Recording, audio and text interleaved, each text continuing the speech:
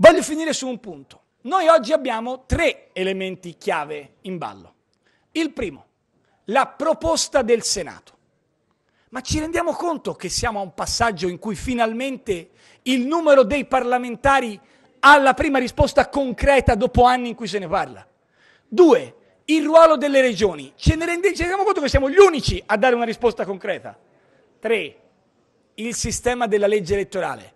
Oggi l'alternativa non è tra la sinistra interna del partito e il resto.